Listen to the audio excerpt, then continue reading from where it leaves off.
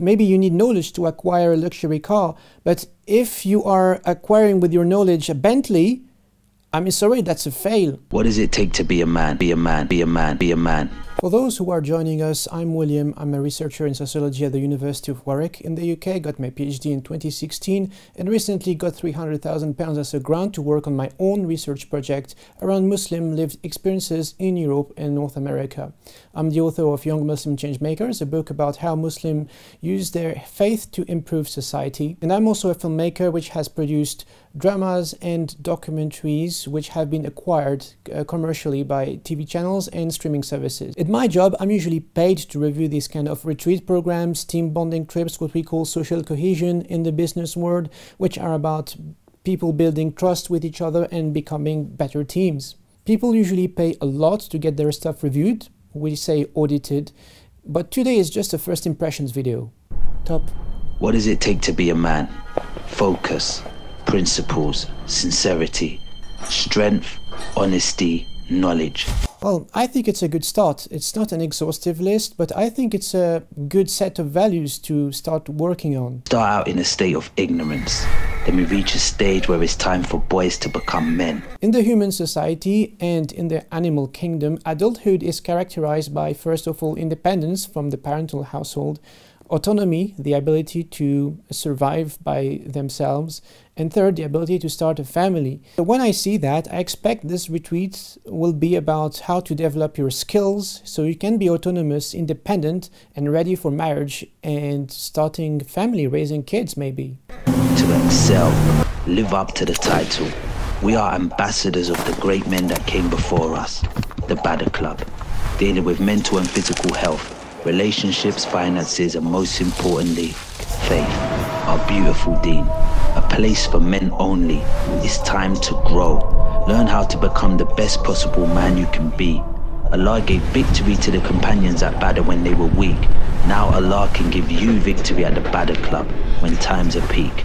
But indeed, Allah did secure you at Badr when you were utterly weak. Remain then conscious of Allah, so you might have cause to be grateful the Badr Club. Sign up now and become a member. Become a man. Their marketing strategy is a really good attempt, I think. The script tone is great. Uh, it's like an action movie trailer. Um, it's well filmed, well edited. Uh, some ready-made transitions are a bit cheesy, but yeah, I don't think it damages the video for their target audience. We're not reviewing a Terrence Malick movie here. I hear buzzwords, I see visual stimuli, action scenes. So what I see is that I think it's going to be a great experience. If they're selling a holiday package with all these activities, well, that's brilliant. A few details. Oh, why is this guy wearing trainers while riding a horse in the desert? Why doesn't he wear boots or sandals? Because, I mean, the sand's gonna get stuck in the trainers. So in this scene, they shows a Bentley. Bentleys are such unreliable cars. By choosing a Bentley, they're basically saying that they have really poor standards. When I see someone driving a Bentley, well, I feel sorry for them. If they showed me, I don't know, it's a luxury car, so if they showed me, I don't know, a Lexus LS or a Lexus LC, well, why not? I would say these guys know their stuff. But a Bentley? So here, the guy who shoots the submachine gun has received little or no training on how to handle a SMG. He leans first his head like sideways. When you shoot, you make sure your head is straight, it's aligned with the gun. You don't lean your head over like this. And his body posture is straight up. So I know it's only a 9mm, so there's no much recoil, but usually with these kind of weapons, you lean forward to counter the recoil of the gun. So I hope people who go on their retreats and go to shoot get better instruction. So when they talk about physical, mental health, relationships, finance, and faith, well, I think it's a really good package when they say it, although maybe a bit incomplete. But, and this is concerning, there is a dissonance between what they say and the visuals they show. So I have a question. How does Dubai, jet skis, Victoria's Secret and driving a Bentley will help people transition from boys to men? Or can they be markers of adulthood? Are these supposed to be goals in life? I wouldn't be surprised if some of the viewers get cognitive dissonance because I think one mistake they make is telling their audience that to be a man of value, you need to be rich and buy luxury items in one of the most jahil places on earth. Let's take their exact wording. How do luxury resorts, luxury cars, wealth relate to focus, principles, sincerity, strength, honesty, and knowledge? I don't know, maybe they see a way they're related. Maybe you need knowledge to acquire a luxury car, but if you are acquiring with your knowledge a Bentley, I'm sorry, that's a fail. Or if we talk about adulthood, how can these help people becoming independent, autonomous, or can even be the result of being autonomous or independent? At least the guy drives Bentley himself, which means he's got a driving license. So that's good. That's a good start. Second, it is very Western and modern concept of what life should be. When I'm talking, I'm talking about the images. If you travel to other parts of the world, and by experience this is something I've encountered in the French Guiana, and you hear similar things in some parts of Africa and Asia, a man of value is someone who can survive in their environment, in the desert, in the forest, in the mountains, someone who can cut wood to build a house, build a boat, um, or just you know, how, knows how to hunt or to raise animals, grow plants or forage plants either. So myself, I drive cars on track. I have a motorsports license. I have a powerboat license. I practice shooting with firearms on a regular basis in many other sports. Well, I don't earn six figures, but I consider myself financially comfortable. I don't have two wives, but I've been married twice and I've been in many relationships before. So I don't have anything to prove or to envy and all what they offer in that program, these are things I already practice regularly in the UK. But these are not what made me improve my character. What helped me develop my character was not all these experiences or even any coaching or any retreat, uh, any talks about religion. It was mainly very difficult life changing events such as migrating to a foreign country without money, uh, surviving five years of abusive marriage and the subsequent depression and suicidal thoughts, surviving isolation in a country where a majority of Muslims rejected me for being Polish, uh, becoming jobless and homeless in a country where I didn't have any friends or family, uh, falling out of friendship and mending these friendships, uh, facing the rejection from my family and mending the relations I have with my family. Or if we really want to talk about sports, is things like hiking for several days in full autonomy in the mountains with people, because it's much more difficult than alone, and several times. But for me, I'm at a point in my life where being alive, just the simple fact of being alive, is success. I was I'm not supposed to be alive. I should have died in 2015. I, I talk about this in some other videos. But when you have lost everything twice, you become very much satisfied with the little through what I've experienced and what I've seen with other people, and I talk about this in my book, Young Muslim Changemakers, developing your character is a very, very long process. The most brilliant Muslims, or even just the very most brilliant people I've ever met in my life, are all people who have been through very difficult life experiences like losing someone, becoming seriously ill, becoming a single parent, uh, living in poverty, becoming homeless, and many other hardships.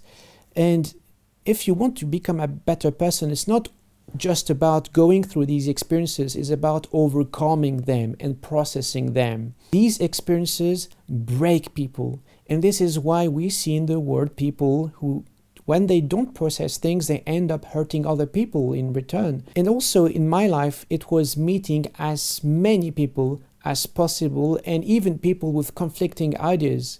For example, I've met Muslims who are pro prevent and CVE, uh, Muslims who are against Palestine or Muslims who support Nike uh, producing garments through uh, Uyghur forced labor. So when you meet people who have opposing or views to yours, you are able to develop your way of thinking and in question things, you know, think critically, and also meeting elders, very important. Meet the elders because they have much more life experience by definition than ours. So in, in this Badr Club, you can learn for 313 pounds how to make six figures, for example. So I don't know who's behind that. Uh, I'm, so I'm only reviewing the program only. Retreats are at an extra cost. And I've seen people reacting on, on social media, and I think I agree. What about uh, the, who whoever is unable to afford these? Uh, they will probably borrow and get in debt uh, or get their families in, in debt and that's a very like high risk. Let me tell you the story of the muslim entrepreneur network which is now a defunct organization.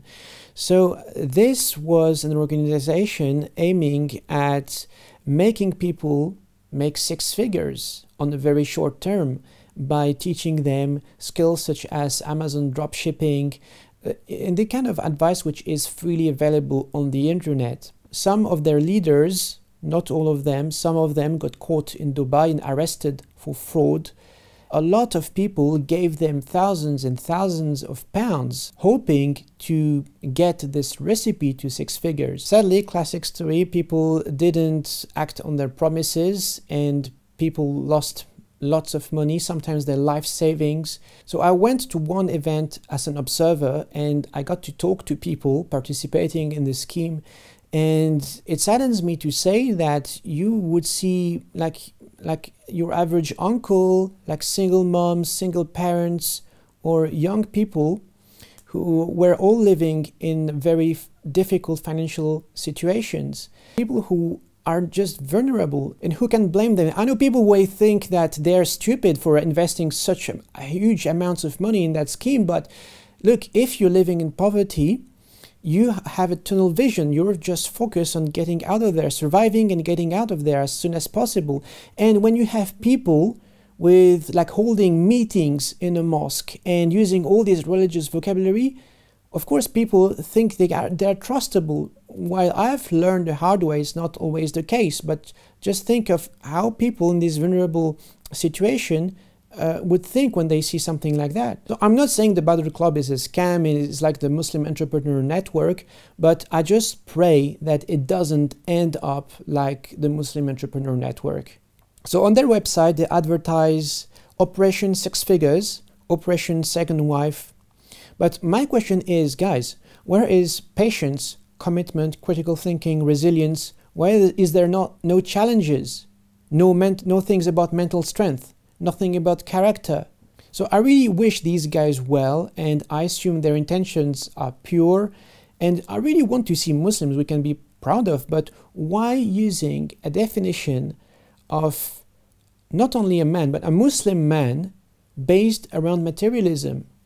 This is I want to understand because I think their offer works really great as a holiday club. I wouldn't go to them if I really wanted to work on my character.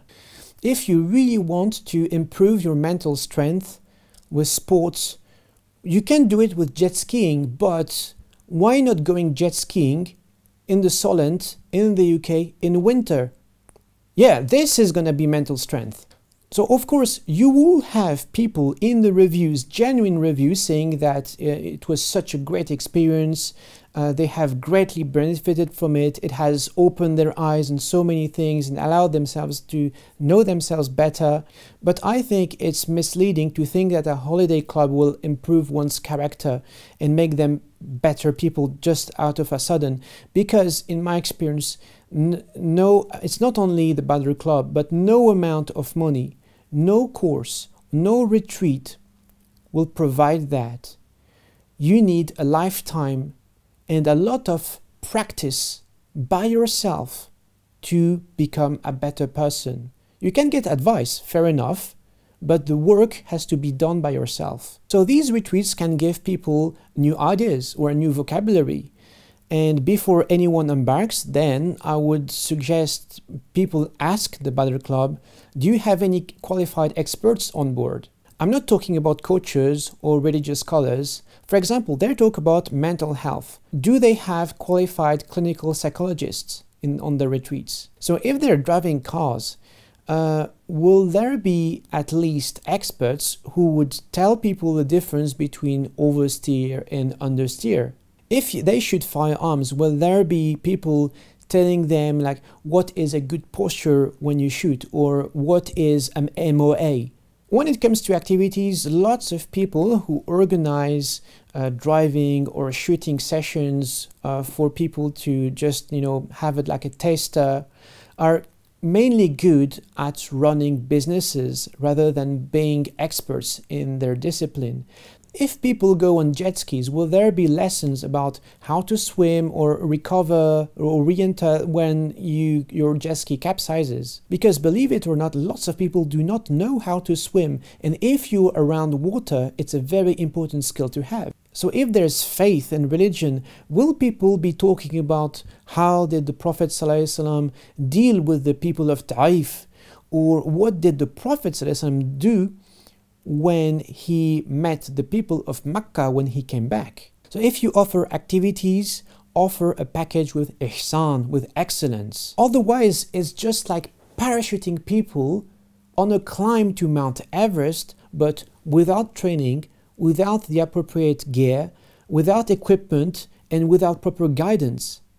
And believe it or not, it happened there is a charity which happens to be Muslim who organized a trek in the Himalayas, and they didn't think that people needed uh, altitude acclimatation before climbing. Result, two people ended up in hospital. So if I was to offer any kind of training, it would be for people first of all to know better the society so they don't fall into its traps and know better themselves like what is your weaknesses? What are your interests your strengths and how do you work from there? And second offer people tools to improve themselves for growth tools for growth and resilience. How do you progress? How do you move forward? How do you better your character? How do you recover if you fall and get wounded in life? And only then we can talk about relationships. We can talk about finances. Because remember relationships and wealth are tests in this life. And you would really like to be prepared and have the tools to deal with these tests. If you set on a hike, you need to prepare your body, you need to pick the right gear, and you need the right map and a compass, and then you need to train and train and train until you're ready. It's like, you know, people want power but without any control on their power or any guidance, any reference. So, what I see on social media, and this is why I left Facebook and Instagram in November 2021, is because I don't see rich Muslims on Instagram. I see rich people who put their forehead on the floor and do not have any clue about what is a good character, and they don't have even the best spending habits. So I've it's like you know I've met people driving supercars and owning them, but they don't know how to like fix a light bulb or and they believe in anything they hear eh, on social media. So one thing I think modern Western men lack is being autonomous, being independent, physically, emotionally, intellectually. So which means being able to self-reflect and think critically. Mental slavery is a real thing.